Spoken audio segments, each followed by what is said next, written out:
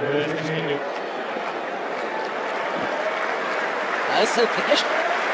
Hey, there's And I hope so.